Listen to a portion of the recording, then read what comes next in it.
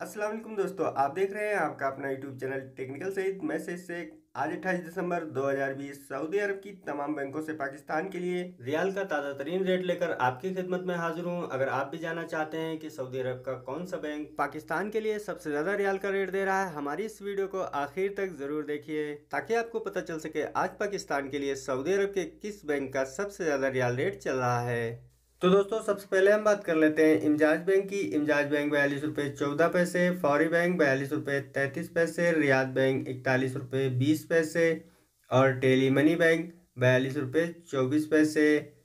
और इसी तरह से अब बात कर लेते हैं एक्सप्रेस मनी बैंक की।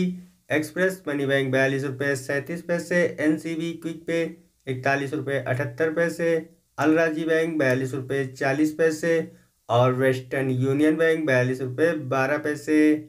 और अब बात कर लेते हैं मनीग्राम बैंक की। मनीग्राम बैंक बयालीस रुपये सैंतालीस पैसे। एच टी सी पे अप्लीकेशन बयालीस रुपये बारह पैसे। और सबसे आखिर में सऊदी इरसाल बयालीस रुपये ज़ीरो आठ पैसे।